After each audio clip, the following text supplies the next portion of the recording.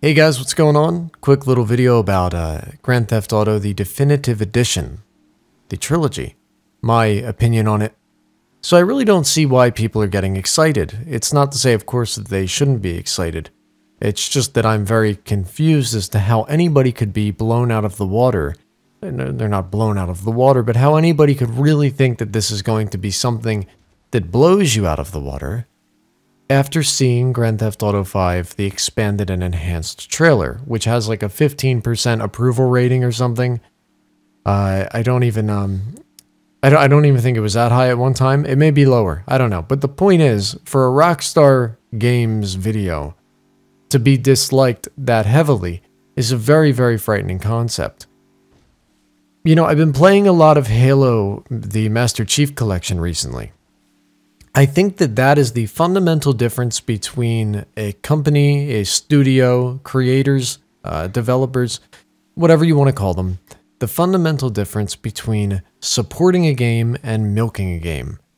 They constantly release new armor. They constantly release new season updates. Granted, they have a new game coming out soon. It's probably pretty good for marketing, but the Master Chief Collection's been out for six years now.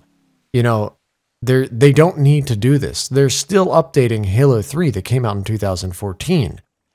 They just added a custom game browser lobby. Um, custom game lobby browser? Is that what you want to call it? Um, for a 14 year old game, they're still adding new maps, new armor, and armor. What hell kind of an accent was that? And you look at this and you say to yourself, you know, this is what a lot of these game studios should be doing. Rockstar should be doing this. It should be a renaissance period of older games. It should be this return to the old. Why should we do that? Because of all the shortages. Look at how hard it is to get your hands on a graphics card, how expensive they are. Nobody can afford this shit, okay? Uh, well, maybe some people can, but I don't think most people can truly afford it comfortably. Even consoles are expensive, so maybe that sort of invalidates my point. But this would be such a brilliant time to capitalize on the fact that we're having a little bit of trouble progressing, whether it be financially or technologically, forward in the video game world in terms of like the, the consumer end. So let's take a little break. Let's revisit the classics that we love that are optimized, like Halo, like Grand Theft Auto, Let's make a killer amount of money on them. Not not just that, build an incredibly I I'm wording this wrong, but build an even larger fan base for people who have yet to be introduced to the classics and then release Grand Theft Auto 6. That's what I think they're doing with, you know, Halo Infinite. People who have never played that before, if they if they hop on Halo 3, if they're hopping on all these old games that came out 14 years ago that are still being updated, of course they're going to hop on Halo uh, the new one. They're gonna say, yeah, dude, these developers kick ass. these guys are really, these guys are in it for the long haul. And I think all the updates are free as well. So, Grand Theft Auto, I would love to see multiplayer clients put in to San Andreas, at the very least. Is it a crazy thing to ask for? Yes and no. The reason why I say no is because um, people have had multi, what was it called? Multi theft auto for San Andreas. They have had that forever. I think I actually remember playing that in like 2008 or something, where you could be playing on GTA San Andreas multiplayer on PC. Um, it was just like FiveM. Not just that, and of course that was a that was a custom thing. That was someone that was not part of Rockstar making it. Not just that, if the GTA 5 trailer came out in 2011 and it released in 2013, let's just say that they started working on it, uh, GTA 6, maybe a couple years later. That That's what everybody's mind is thinking, by the way. Everyone thinks right now that Grand Theft Auto 6 has been being worked on for the past eight, seven, six years. You know, on one hand, you'll believe that Grand Theft Auto can actually be worked on for that long, that Rockstar is going to re release this incredible, groundbreaking masterpiece of GTA 6, which they probably will. So that's all believable. But then when you say, could they add a multiplayer client to a very old game that someone's already done? Nah, that's crazy. It, it, it's so strange because you could somehow, I'm sure they could do it with the amount of money that they've made. It would actually be rather condescending and undermining to believe that they couldn't do it. I, I sound very cynical, and of course, I want to be surprised. If they come out with something that is so good, I will not criticize it at all. Why would you? The only reason why we're being critical now is because we want something uh, that really buys us some more time. GTA 4, personal favorite of mine.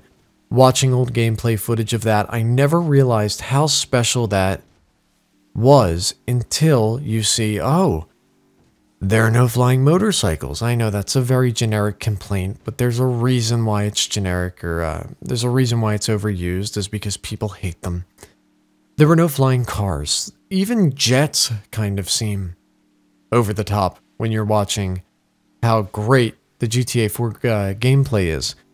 And you're looking at people having these natural firefights. They're just blowing each other's brains out without lock on missiles, without anything crazy, without drones. What was the most overpowered thing back in GTA 4? It was probably like the APC tank or something. And there was also that one apartment building that you could run into. And I remember people chasing me to the top before you jumped off. And uh, yeah, looking at that game, there was so much less that we had in Grand Theft Auto 5. And it's nice that we can choose from those two. But if you were to bring that back, my God, people would love that. There, there have to be people out there that are younger. There just have to be. Has to be is the word um, that have never played Grand Theft Auto 4 before, uh, that, that will jump on that and say, whoa, you know, this is really good. I'm sure it's happened with the, the Master Chief Collection and Halo. I'm sure people have jumped on that and said, you know, I wasn't a, wasn't a Halo guy before this, but I'm definitely going to buy Infinite now.